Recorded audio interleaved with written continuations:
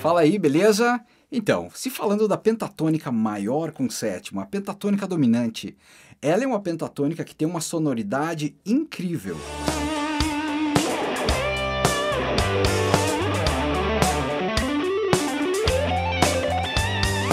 A aplicação dela sobre acordes dominantes, ou seja, um exemplo no blues, soa muito legal.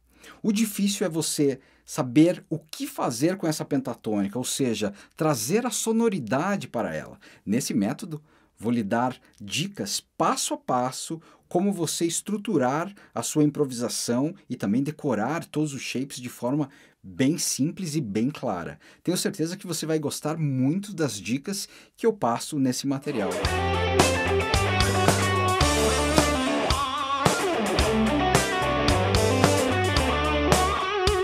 Então é isso aí. Espero que você goste e se divirta muito com esse método, da mesma maneira como me diverti quando criei.